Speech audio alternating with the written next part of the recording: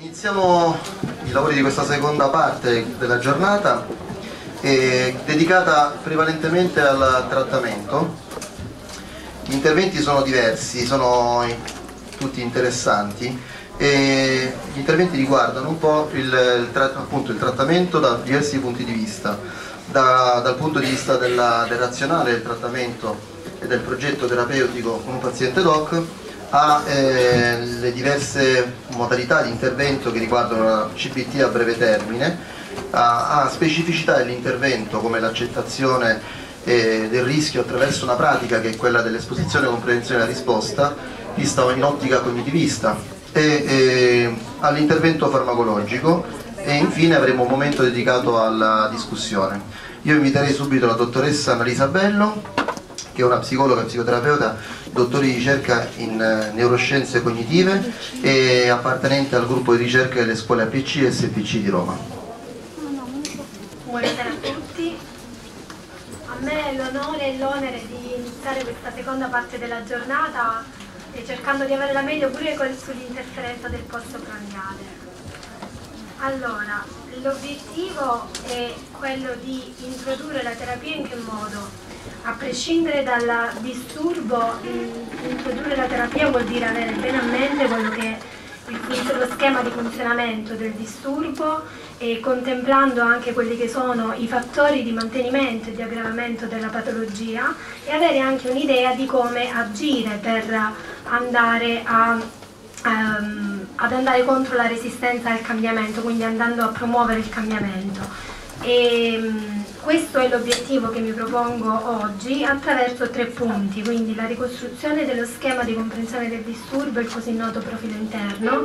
che ha la sua importanza non solo all'interno della terapia, soprattutto nella fase iniziale, ma anche poi in itinere, ci serve ai fini di esausività per andare a comprendere meglio quelli che sono i famosi processi ricorsivi, quindi tutti quei fattori che contribuiscono a mantenere e ad aggravare la sintomatologia e la condotta ossessiva.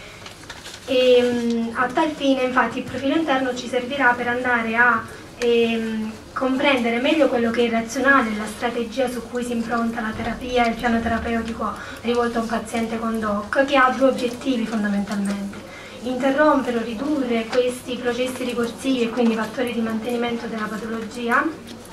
e, e come secondo obiettivo quello di rendere il paziente meno sensibile, meno vulnerabile all'esperienza di colpa e alle credenze associate alla catastroficità e all'inaccettabilità dell'esperienza di colpa stessa. Cominciamo subito con l'introdurre quello che è il profilo interno, quindi lo schema di funzionamento e di comprensione del disturbo ossessivo compulsivo che consta di cinque fasi. Si rifà al, al modello dell'ABC, quindi al paradigma ehm, d'analisi di base della terapia cognitiva dove hanno la, un ruolo importante lo hanno le valutazioni, le intenzioni, gli scopi, le rappresentazioni e quindi a tal fine il profilo interno ci è utile per definire meglio quelle che sono le valutazioni cognitive nonché anche comportamentali che partono, vengono triggerate da un evento critico un evento critico che nel caso del disturbo ossessivo compulsivo, come abbiamo visto stamattina con, con Andrea Gragnani, può essere un evento occasionale, quello che attiva la condotta ossessiva, quindi un fatto concreto, una circostanza concreta avvenuta come aver toccato un oggetto, piuttosto che come diceva il professore anche aver, sfiorato il tavolo, piuttosto che un pensiero come pensare alla morte, di poter trarre vantaggi dalla morte di una persona cara piuttosto che un'immagine eh, come quella a contenuto omosessuale o una sensazione, quella di patina contaminante, sensazione di sporco. E così come riassunto dalla, mm, dalla vignetta, mm, l'evento critico può avere diverse sfaccettature. A prescindere dalla tipologia di evento però eh, c'è sempre un rimando ad una valutazione, una valutazione primaria e che ha un significato particolare. Nel caso che prenderemo in esame facendo l'esempio, l'evento critico è chiusura del rubinetto del gas, quindi un paziente che esce di casa e l'evento è chiusura rubinetto del gas. Questo va a triggare e a innescare una prima valutazione. La prima valutazione del disturbo ossessivo compulsivo ha un significato particolare perché ci introduce al tema degli scopi, quindi all'importanza che hanno gli scopi ehm, nel paziente ossessivo compulsivo. Di solito a prescindere dal tipo di valutazione, la valutazione è sempre una valutazione di minaccia che pende sulla testa del paziente, una minaccia grave, incombente, inaccettabile e fronteggiabile. Ritornando al caso di prima, e se avessi chiuso male il rubinetto del gas e quindi come abbiamo anticipato stamattina ehm, provocherei per una mia distrazione, sbadataggine la morte dei vecchietti di sotto piuttosto che l'esplosione dell'intero palazzo facendo diverse vittime, questo eh, la prima valutazione parla della minaccia appunto di scopi, scopo ultimo è quello di essere responsabile di una colpa, una colpa deontologica rispetto uh, alla quale il paziente si sente costretto, rispetto alla cui prevenzione il paziente si sente costretto a dover intervenire e fare qualcosa per proteggere in un certo senso questi scopi, anzi lo scopo di prevenire la colpa deontologica, che cosa fa? Mette in atto i tentativi di soluzione di primo ordine, che altro non sono che le compulsioni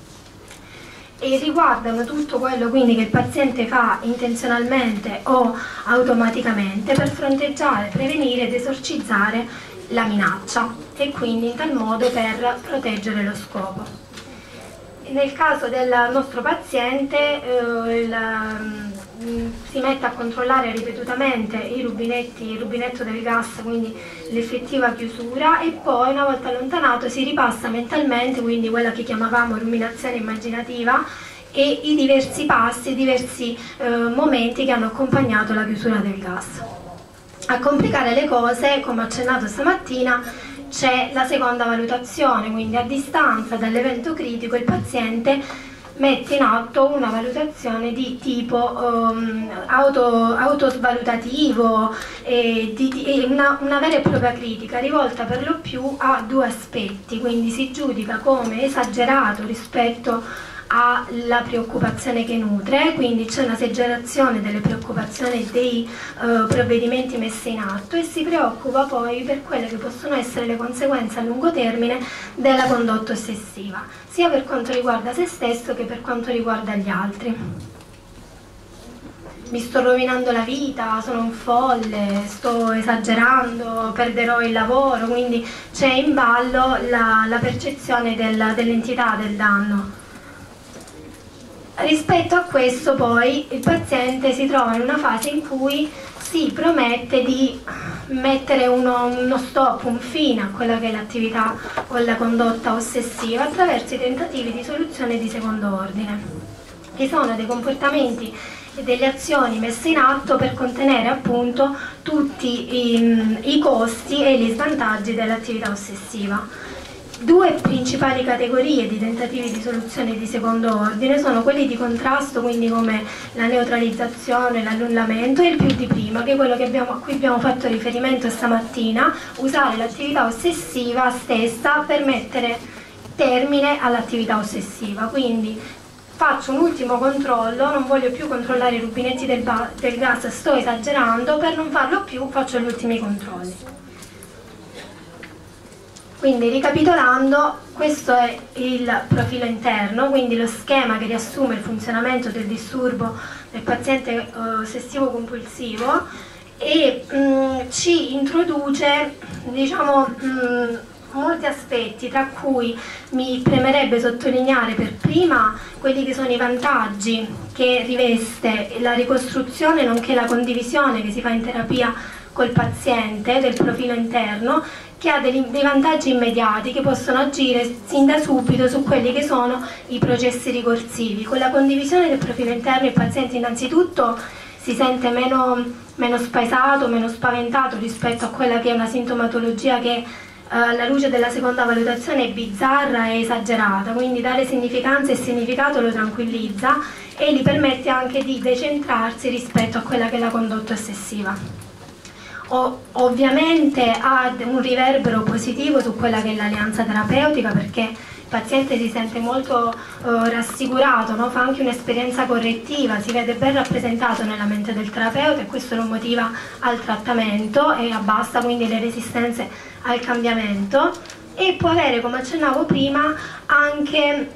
degli effetti sul, sui processi ricorsivi Per esempio, ehm, nel caso del, dei pensieri proibiti,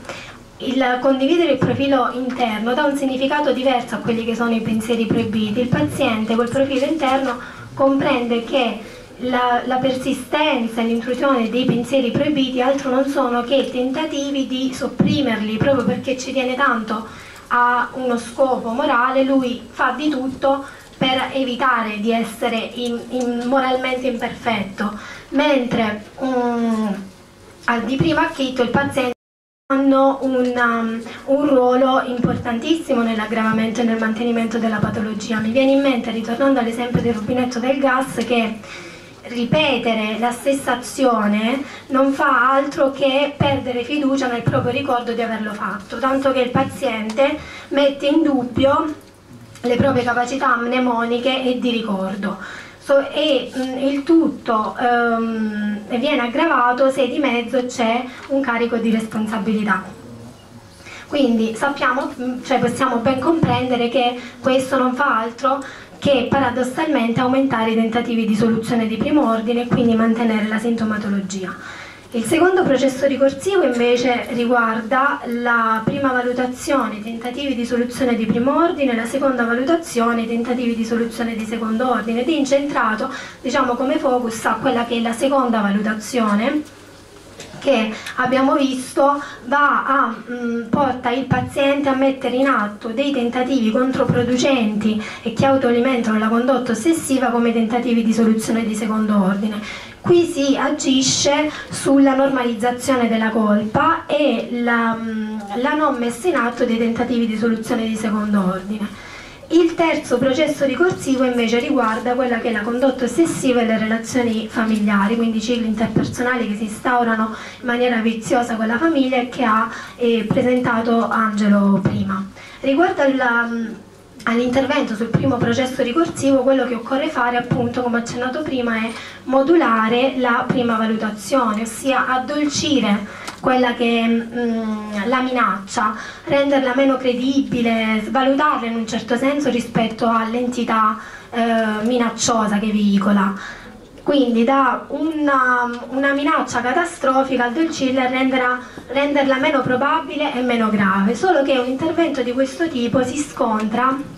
con l'orientamento iperprudenziale del paziente che ehm, adottando una strategia prudenziale mh, elabora le informazioni di sicurezza e quindi poi di minaccia in una maniera molto distorta perché per quanto piccola la probabilità che accada la minaccia esiste e eh, seppur piccola sarebbe sempre e comunque colpa mia. Quindi più che andare a questo punto a lavorare sulla modulazione della, percezio della percezione di minaccia, occorre andare a lavorare sull'accettazione della minaccia e ristrutturando quelle credenze che sottengono lo scopo di prevenire la colpa deontologica, quindi tutte quelle credenze del, che motivano il paziente a iperinvestire in quel senso. E ci sentiamo più motivati ad iperinvestire quanto più crediamo che sia raggiungibile è possibile raggiungere un determinato scopo e, e quanto più crediamo che sia doveroso ed etico doverlo fare. Quindi occorre un attimo ristrutturare le credenze del tipo è possibile evitare qualsiasi colpa, si deve evitare e prevenire la colpa, sarebbe una vera e propria catastrofe andare incontro ad una colpa. Queste le credenze che sottendono lo scopo iperinvestito di prevenire la colpa. Quindi in che modo? Facendo, lavorando col paziente al fine di um, fargli capire quanto la, la, colpa è una parte alla fine, fa parte, è connaturata all'esistenza, quindi normalizzarla e non giudicando più possibile vantaggioso né doveroso prevenirla a tutti i costi. In tal modo il paziente ci possiamo aspettare che investe meno nei tentativi di soluzione di primo ordine. Quindi lo scenario ideale, le credenze sarebbero modificate e mh, mm, sarebbero non è possibile prevenire ogni colpa, non è conveniente evitare qualsiasi colpa e sarebbe spiacevole ma non certo catastrofico né terribile. Questo è un altro ostacolo che si può, mh, mm, che si può presentare e, e che riguarda il, mh, mm, la, sempre la strategia e l'atteggiamento iperprudenziale del paziente che potrebbe obiettare dicendo ok è sempre meglio però ridurre un po' temporaneamente la minaccia e il disagio piuttosto che per niente a questo punto dovremmo un attimo eh, introdurre e introdurre il paziente ai costi e ai benefici, ossia ai costi derivanti dalla rinuncia ai tentativi di soluzione di primo ordine versus i costi invece eh, derivanti dal continuare a metterli in atto perché il paziente si trova a vivere una situazione altalenante e abbiamo visto l'esempio ci è dato dalla prima e dalla seconda valutazione e non ha modo di vedere la, mh, i costi dell'attività ossessiva in maniera integrata, quindi il paziente non integra una visione eh, sistematica e unitaria i costi dell'attività ossessiva verso i costi che comporterebbero rinunciare ai tentativi di soluzione di primo ordine. E, dobbia, perché ovviamente a ridosso dell'evento critico il paziente è totalmente assorbito dal dominio sintomatologico e per tutto quello che abbiamo visto stamattina si sente in un certo senso costretto a doverli mettere in atto. Quindi l'intervento è eh, sui costi e benefici, i costi dell'accettazione della minaccia verso i costi di rinuncia ai tentativi di soluzione di primo ordine. È importante aiutare il paziente a tener conto contemporaneamente di entrambi i tipi di costi e confrontarli, soprattutto nei momenti in cui si trova esposto all'evento critico e, mm, e quindi è completamente assorbito dalla prima valutazione. L'intervento sul primo processo ricorsivo si conclude andando, a, mh, mm, andando incontro all'altra obiezione che può farci un paziente ossessivo con disturbo ossessivo compulsivo e che è quella che accennava stamattina il professore. No? Il paziente dice ok, la, accetto la minaccia, normalizzo la colpa, non è tanto catastrofico, però comunque essere consapevole che può succedere mi rende ehm, un agente causale di, ehm, di conseguenze negative. Non posso fare spalluccia, non posso far finta di nulla. Infatti la decisione di non fare nulla, pur essendo consapevole di un eventuale danno, seppur eh, non certo e poco probabile, rende la persona in un certo senso colpevole, quindi la fa ehm, scendere di rango morale. No? E, ehm, un, un punto al quale il paziente ci tiene in particolar modo. Qui in, in, questo caso si interviene mh, sulla, sulla, normalizzazione della colpa facendo com mh, comprendere al paziente che la colpa, come dicevo prima, fa parte dell'esistenza umana e si può riuscire a tollerare la percezione e la sensazione e sgradevole di minaccia. Quindi la, quello che bisogna fare per interrompere e ridurre il secondo processo ricorsivo è modulare la seconda valutazione e quindi la valutazione critica dei propri, dei propri tentativi di soluzione atti per contenere tutta la sintomatologia ehm, per evitare di mettere in atto i tentativi di soluzione di secondo ordine, quindi dare un significato diverso a quella che è